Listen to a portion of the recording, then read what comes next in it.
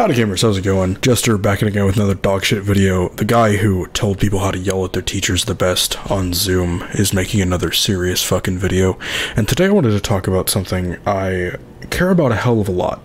And I know I've talked about before that I try to talk about things fairly unique, so that way you don't have to hear stuff constantly. And if Jake Paul fucking looked the wrong direction, 99% of commentary channels are gonna fucking say something about it. I don't give a shit, and I don't want to give a shit for the sake of views. That's just fucking annoying. But regardless, something I feel like people don't realize enough is that your negativity can almost entirely fuel something to happen at all. And I want to give specific examples on that today. I made sure to do a bit of research for this video and make sure I'm not just speaking out of my ass. But there are quite a few things that I don't think would be even a tenth as large as they are if it wasn't for millions and millions of people constantly shitting on it and finding a card tower to knock over just because it's an easy target that'll get people riled up. And the obvious one is like Jake Paul and Logan Paul, which so many commentary will talk about them and then they'll be like, oh, I don't want to talk about them ever again and it's just fueling their career and then they'll make 20 more fucking videos. You can do something which is not hit the fucking not hit the render button. You can scrap videos. Even if you spend a lot of time, you gotta take the hit sometimes and realize hey, once you have that realization, don't just leave that realization in there then upload the video. That's fucking insane. The one thing I really wanted to talk about today was feminism. And now I think modern day feminism would almost entirely not exist as it was if it wasn't for an equally radical group of people that are constantly hating and shitting on it. And that one's far larger. And I'm to try to provide evidence for this because I've had people argue with me every time I've ever brought this up. I remember almost like making a video about this, but I checked and I couldn't find that I ever made a video about this. So I'm like 99% sure I recorded something before and kept trying to record it, but I got way too pissed off and never ended up uploading it because I would like get on a high horse and I'd be upset and it was just a shitty video. So I've been trying to remain remotely calm so that way I don't come off as too much of a fuckhead. But something like modern day feminism, you can, I'm to do it right now. what I'm to do for the example is I'm going to open up hacker mode in Firefox. That way it won't save any of my searches. And I'm going to go to YouTube and I'm going to search feminism. I'm just randomly, I'm just going to tab over the first 10 ones and we're just to take a fucking peek. This is pro feminism, massively downvoted, 50,000 views. This is a comedian speaking. She's just joking around. I think even if she's joking around about something you don't like, if you get upset, you're being a fucking asshole. Okay, this is a neutral stance. This video is entirely neutral. It's trying to show both sides of the argument,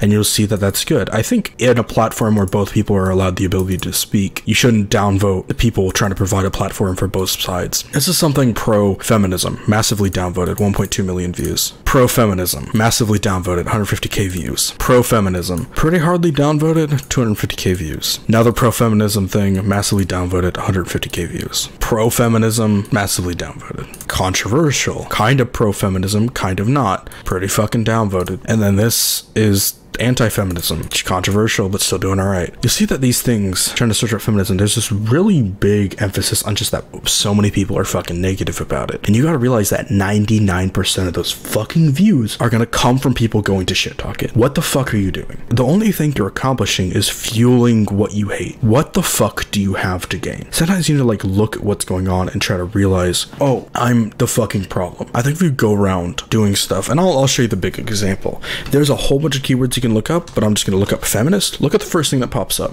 Cringe. 5.6 million views. Top 10 feminist moments that define 2018. Massively downvoted. And just look up the other stuff that's trying to get from feminists. And I'm I'm in incognito. It shouldn't bias. It should be like what everyone gets by default. Feminist getting owned by Logic. Feminist cringe compilation 2019. Feminist cringe 2019. Feminist. Feminist cringe. Feminist versus Logic. Feminist frequency. Feminist cringe compilation. Feminist owned compilation. Feminist destroyed. Feminist gets owned with facts. Feminist cringe compilation 2018 and feminist song. So you'll notice that anytime anyone wants to see anything about it, there's just overwhelming amount of negativity surrounding it. And you have to realize that in situations like this, that the negativity is so massive that you are in turn giving those people a platform to speak. I don't think modern day feminism would exist to nearly ex the extent that it fucking would if it wasn't for people going and shit talking it. So that's when you need to kind of swallow the bullet and be like, okay, I don't give a shit. Why you're creating problems for yourself. I get that the majority of this is done by witch hunting Reddit type shit, but that's not just a fucking excuse to people do this stuff. And it's it's also like there's perfectly rational people that still do this. I don't get it. People I look up to so much pull this kind of shit like critical. I love critical to death, but he still does shit like has made quite a few videos. It's got six. He's made six videos This is someone who's self-aware. I like Drew Gooden, and his videos aren't like critical or they're daily uploads. And he's self-aware that what he's doing is entirely fueling Jake Paul and just only growing his audience, and it's not solving any solution at all. And he talks about it in his videos. And I like him a lot as a person. But fucking four videos, man, four videos. I, I refuse to believe that you're. It's such a bottom barrel level of ideas that you have to dig for this kind of shit. I'm getting on a high horse again and getting pissed. I scrap this video every time, but I need to upload something.